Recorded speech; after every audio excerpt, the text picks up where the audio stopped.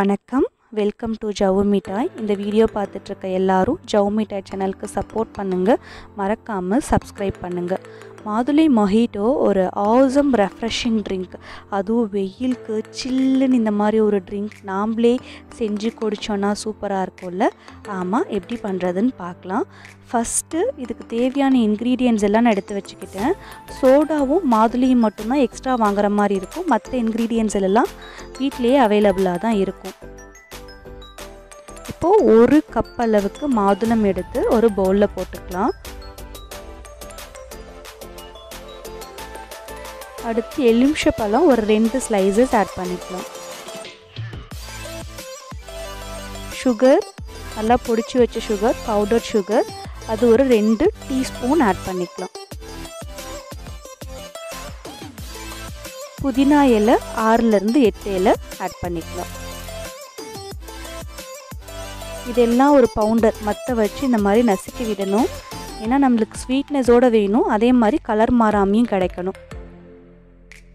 So இந்த மாதிரி நல்லா நசுக்கி விட விட மேலே உள்ள சாரெல்லாம் வந்து வர ஆரம்பிக்கும். கொஞ்சம் கொஞ்சமாக வரும். இப்போது ஒரு கால் கப் அளவுக்கு தண்ணி ஊற்றிட்டு திரும்பவும் நம்ம நசுக்க ஆரம்பிக்கலாம்.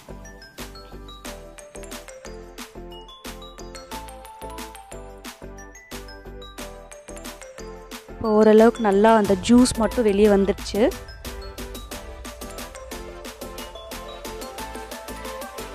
இப்போ ஒரு கிளாஸில் நம்ம பவுண்ட் பண்ணி வச்சுருக்கிறது எல்லாத்தையும் இதில் போட்டுடலாம்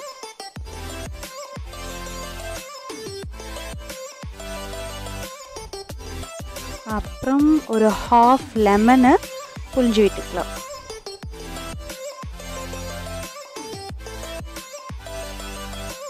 நல்லா சில்லுன்னு வேணும் இல்லையா? ஸோ ஐஸ் க்யூப்ஸ் ஆட் பண்ணிக்கலாம். அடுத்து சோடா. சோடாவையும் மிக்ஸ் பண்ணிக்கலாம். வாவ்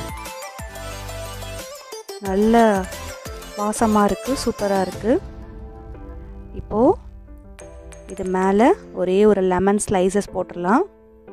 அப்புறம் ஒரு ரெண்டு புதினா இலையை மேலே அப்படி வச்சிடலாம். அவ்வளோதான். மாதுளை மொஹிட்டோ இஸ் ரெடி வாசமே சூப்பராக இருந்தது. பயங்கர ரெஃப்ரெஷிங்காக இருந்தது. ட்ரை பண்ணி பாருங்கள் கண்டிப்பாக உங்களுக்கும் பிடிக்கும். பிடிச்சிருந்ததுன்னா மறக்காமல் ஜவு மிட்டாய் சேனலுக்கு சப்ஸ்கிரைப் பண்ணுங்கள் அப்படியே சப்ஸ்கிரைப் பட்டன் பக்கத்தில் உள்ள பெல் ஐக்கானையும் ப்ரெஸ் Thank you.